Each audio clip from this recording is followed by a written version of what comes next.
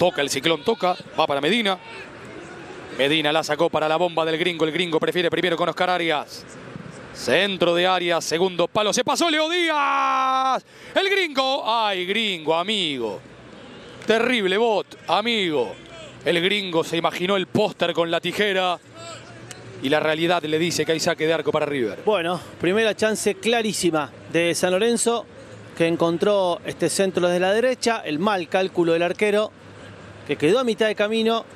La baja Pérez solo auto que tira la tijera, pero no logra impactar de lleno. Bueno, a ver si esto hace reaccionar a San Lorenzo